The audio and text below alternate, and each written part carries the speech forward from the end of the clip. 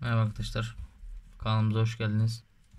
Evet arkadaşlar bugün Macmem Alt Mini Stitch kaynak minisi aldık arkadaşlar. Evet arkadaşlar. Bugün elime ulaştı.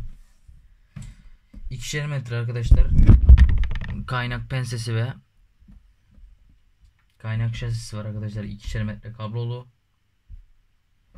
1.6 milimle 3.2 milim arasında elektrot iletebiliyor. 4 kilogram ağırlığı var.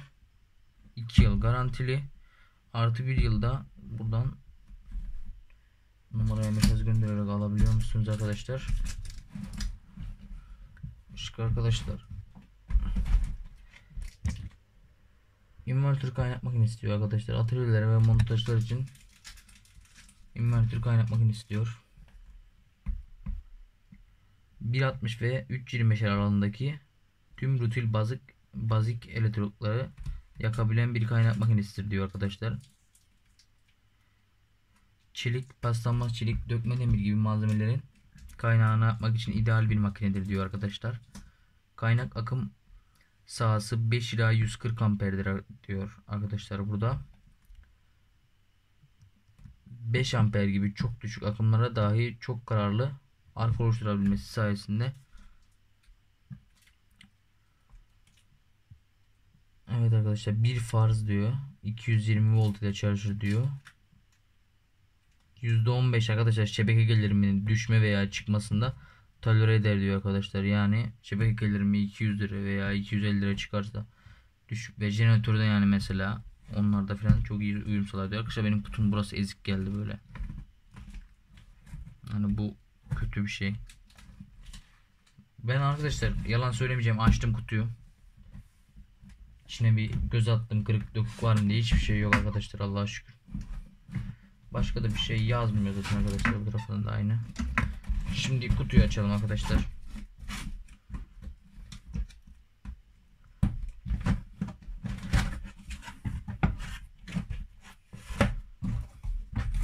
Kutunun içi bizi böyle karşılıyor arkadaşlar. Burada garanti belgesi ve fiş var arkadaşlar fişi. Burada bir tane kullanım kılavuzu arkadaşlar küçük kullanım kılavuzu. Elektrotunu nasıl takacağı arkadaşlar. Böyle amper ayarını falan gösteriyor arkadaşlar. Şöyle arkadaşlar kaynak pensesi. Poşetin çıkaralım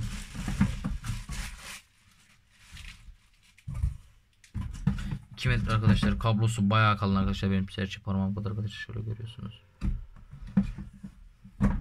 Şöyle yakın çekeyim arkadaşlar. Yani gayet iyi arkadaşlar. Ve bayağı da sert. 2 metre kaynak pensesi. Burada şasisi var arkadaşlar. Şasemizi çıkaralım poşetten. Yani arkadaşlar anlatacak bir şey yok. Bu da aynı. Arkadaşlar benim izlediğim videolarda şu bu içeride takılı oluyor arkadaşlar şurasında. Ama ben dışarıdayım. Sıkıntı değil arkadaşlar. Söker içeri takarım. Bayağı sert arkadaşlar bu da. 2 metrede bu kablo arkadaşlar. Şurası kaynak makinemizin kendisi karşıda arkadaşlar. Şurada bir de kayışı var. Şöyle. Üstüne takılıyor kulpu. Onu da atıyoruz kenara. Kaynak makinemizin kendisini çıkaralım ilk önce bir. Kutunun içerisinde başka hiçbir şey yok arkadaşlar. Şurada bir nemlememesi için bir şey var. Kutumuza atıyoruz arkadaşlar. Arkadaşlar kaynak makinemizin kendisi burada. Şöyle bir kablosu var arkadaşlar. Kablosunu da çözelim. Arkadaşlar 3.5-4 metre kadar da yine kablosu var arkadaşlar. Ölçelim arkadaşlar kablosunu. Ben boyutlarını da söyleyeyim size. Kablosunu ölçelim arkadaşlar.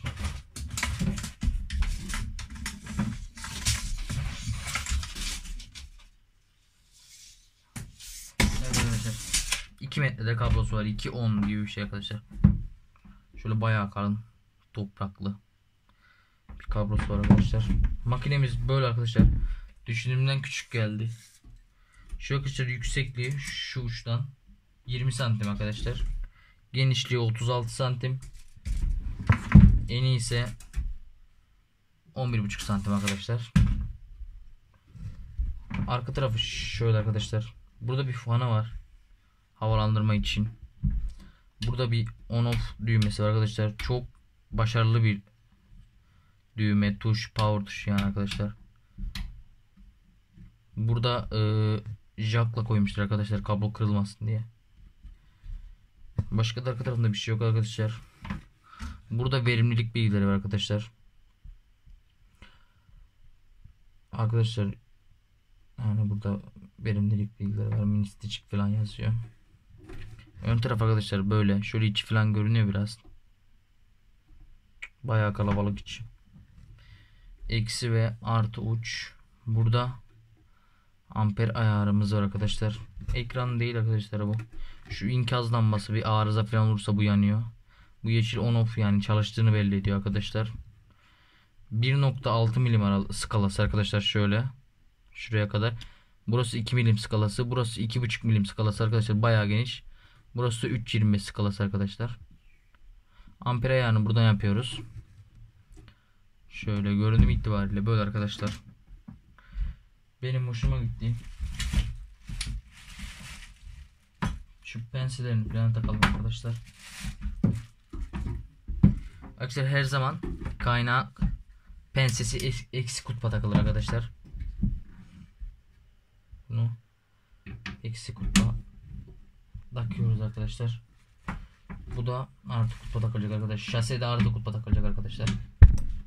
Bunu da takıyoruz. Şöyle gayet güzel bir görünüm oldu arkadaşlar. Kablolar falan hepsi burada arkadaşlar. Toplamda bu kadar şey geliyor. Ben bunun yanında elektrotlu söylemiştim arkadaşlar. Şöyle makmem altına elektrolu. 2.5'luk. 60 ila 90 amper arasında kullanılır diyor arkadaşlar. Şöyle.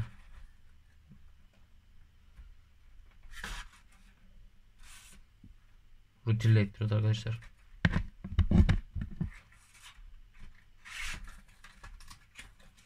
Bunun ağzını açık tutmayın arkadaşlar. Çok bunu bağlayın ya da poşete nemlenmesin. Şu kayışı arkadaşlar. Bu kayışın nasıl takılacağını yani şöyle bir şey göndermiş arkadaşlar yanında. Bunun içinden onun geçmesi imkanı yok. Hani bunun içine nasıl sokacağız onu hiç bilmiyorum. Ya da kırışık mı kalacak bunu böyle katacağız. İki kat şeklinde. Yani büyük ihtimal böyle olacak. Yoksa bura, buraya girmesinin imkanı yok arkadaşlar. Bunu da geçirelim. Yani şurasında yamuk büküldüğü için arkadaşlar geçmiyor buradan ileri.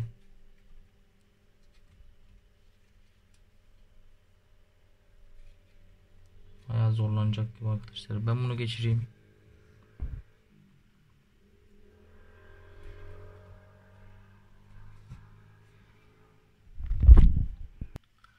Arkadaşlar kulpunu taktım. Ben şöyle zımbaladım arkadaşlar. Çok böyle sallanıyordu sağda solda. Çok çirkin duruyordu. Şöyle belli mesafe koydum. Alttan zımbaladım. Gayet de şık oldu. Şöyle arkadaşlar elektrotları bir sökelim.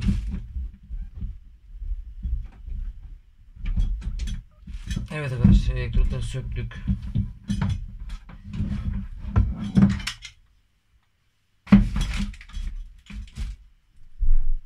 Makinemiz böyle. Bunun test videosunu istiyorsanız yorumda belli edin. Test videosu da yapalım arkadaşlar.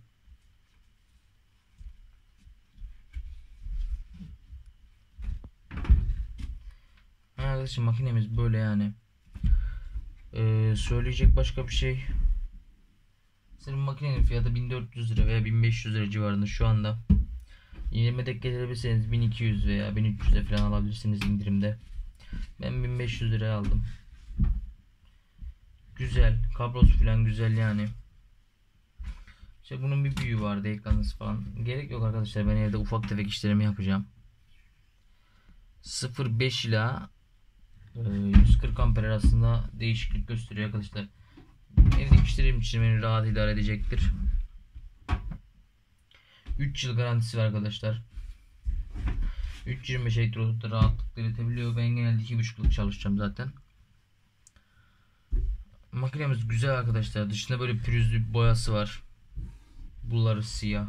Mavi renk çok yakışmış zaten. Gayet şık ve küçük bir makine. Evet arkadaşlar videomu beğenirseniz videomu beğenip kanalıma abone olmayı unutmayın.